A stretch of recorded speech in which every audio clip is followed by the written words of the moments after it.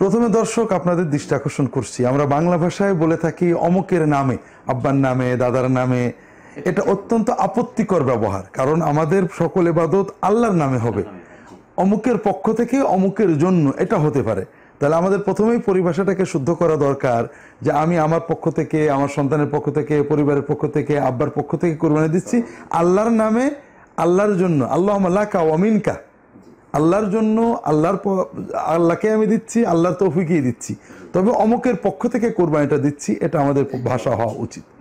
দ্বিতীয়ত রসল্লাহ সাল্লাহ সাল্লামের পক্ষ থেকে কোরবানি দেব কিনা? এখানে দুটো পর্যায়ে রয়েছে। একটা হলো, যারা মৃত্যুবরণ করেছেন, তাদের পক্ষ থেকে কোরবানি দেওয়া যাবে কিনা? আদৌ? মৃত পিতামাতা, মৃত দাদা, দাদি? এ ব্যাপারে ফোকাহাদের দুটো মত রয়েছে। কেউ বলেন দেওয়া যাবে না কেউ বলেন দেওয়া যাবে। যাবের পক্ষের দলিলটা বেশ জোরালো।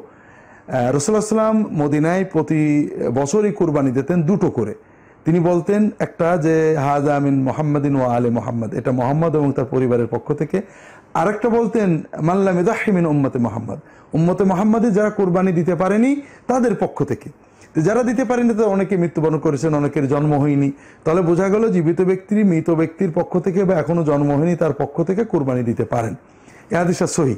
আরেকটা হাদিস অত্যন্ত দুর্বল তিরমিজ শরীফে রয়েছে যে আলী রাদিল্লাহ তালা আনহুকে রসুল্লাহাম বলেছিলেন, আলী, তুমি যখন কোরবানি দেবে, তুমি আমার পক্ষ থেকে একটা কোরবানি দিও। তো রসুল্লাহাম অফাতের পরেও তিনি এই কোরবানিটা অব্যাহত রাখতেন। এটা হাদিসটা খুব দুর্বল। তো এই জন্য বোঝা যায় মৃত ব্যক্তির পক্ষ থেকে কোরবানি দেওয়া যেতে পারে যায় তবে রসল্লাহ সাল্লামের পক্ষ থেকে কোরবানি দেওয়াটা আমাদের অপ্রয়োজনীয়।